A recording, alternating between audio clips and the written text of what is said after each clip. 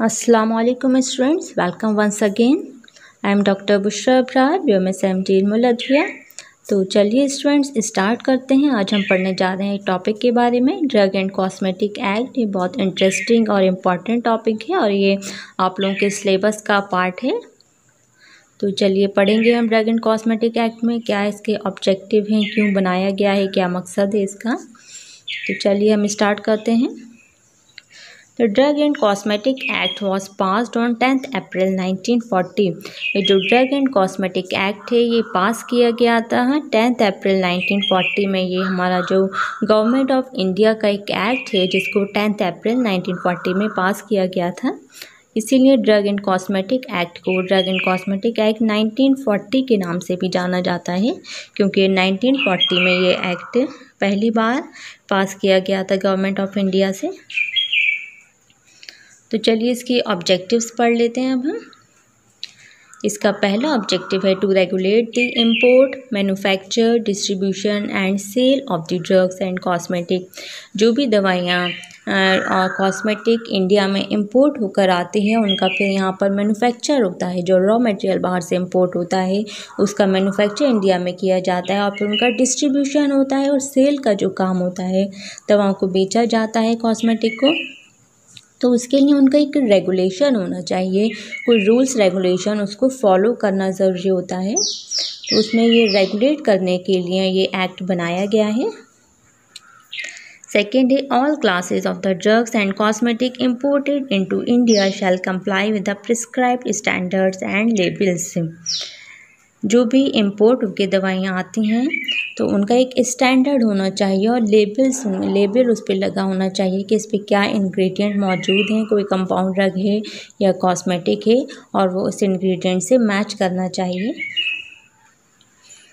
Next है manufacture of all drugs require prior licence अगर कोई ड्रग या कॉस्मेटिक कंपनी इन सबको, दवाओं को और कॉस्मेटिक को बनाना चाहती है तो उसको पहले गवर्नमेंट ऑफ़ इंडिया से इसके लिए लाइसेंस लेना ज़रूरी है।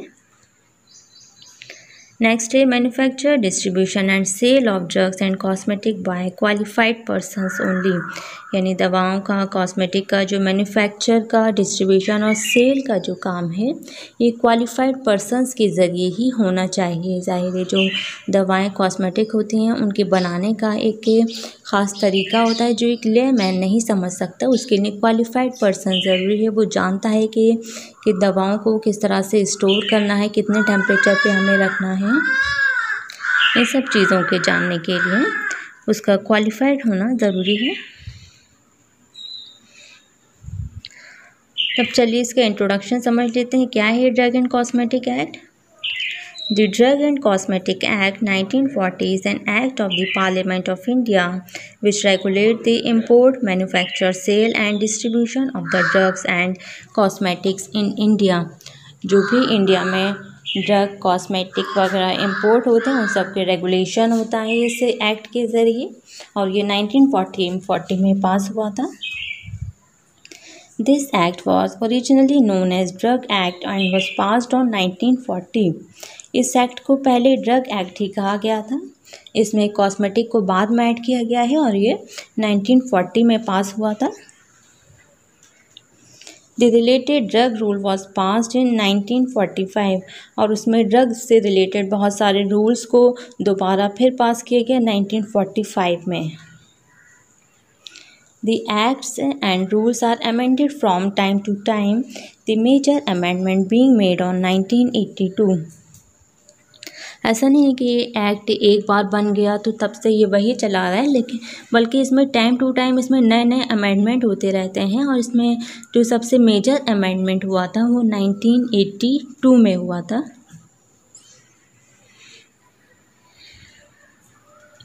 Main objective of the act is to avoid substandard of drugs in order to maintain high standard of medical treatment.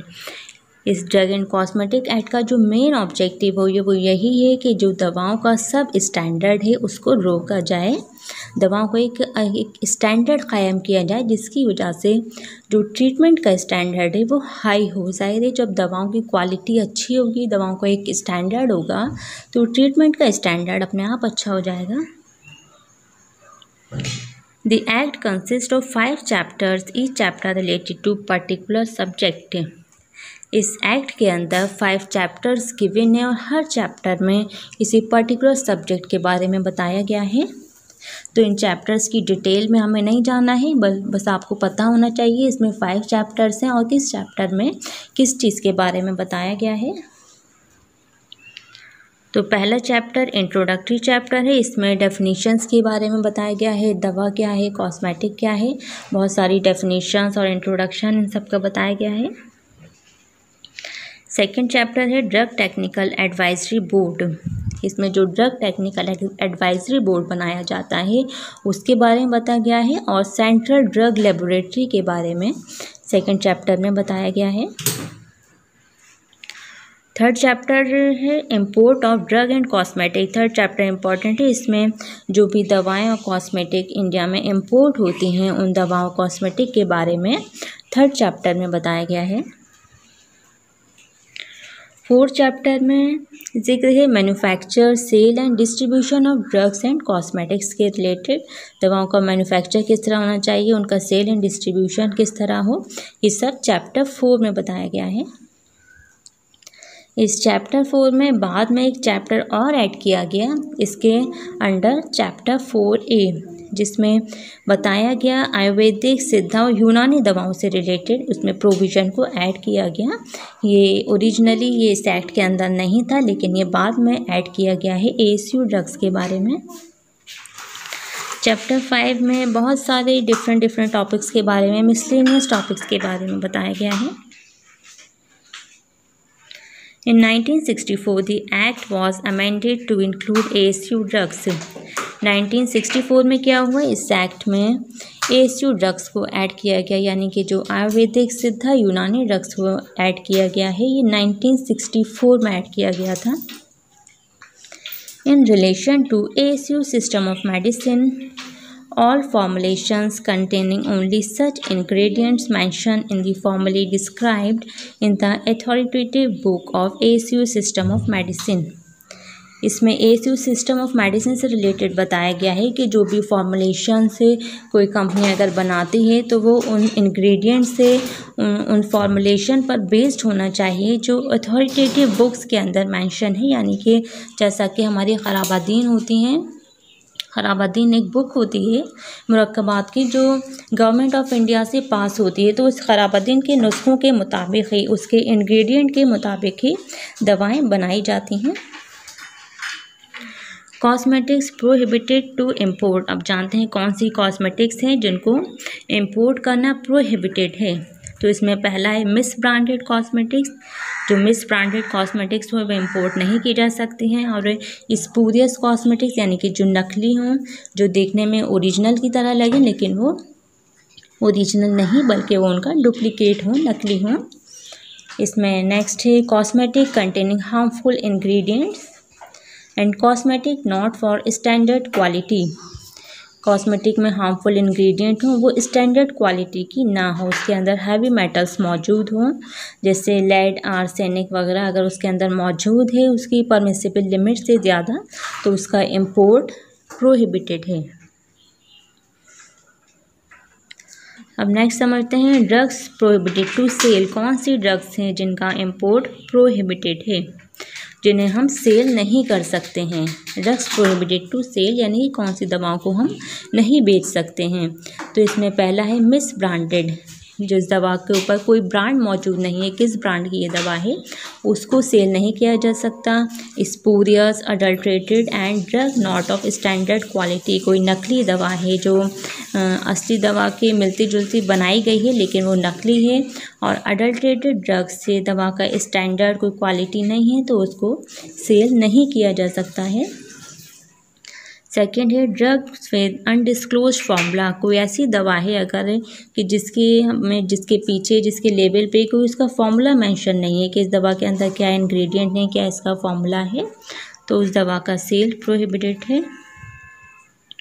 Next है expire drugs and next one is drugs use for consumption by government scheme such as armed forces बहुत सारी दवाएँ आती हैं जो government scheme के तहत बहुत सी जगह दी जाती हैं, जैसे आर्म्ड फोर्सेस जो आर्मी आर्मी पर्सनस होते हैं, उन लोगों के लिए बहुत सारी दवाएँ जाती हैं तो उन दवाओं को सेल नहीं किया जा सकता है, वो प्रोहिबिटेड है।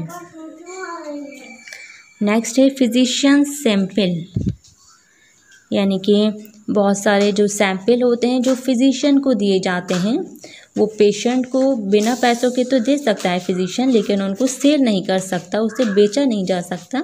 वो प्रोहिबिटेड है।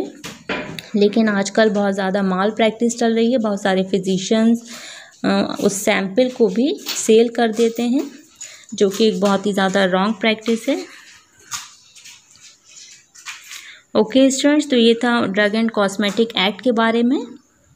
आई होप आप लोगों को समझ आया होगा ये। जितना मैंने बताया, इतना आप लोगों के एग्ज़ाम के लिए सफिशेंट है। लेकिन आप इसकी अगर डिटेल में इसको और ज़्यादा पढ़ना चाहते हैं तो ये नेट पर अवेलेबल है। आप इसको पढ़ सकते हैं, समझ सकते हैं और इसे। अल्लाह हाफिज़।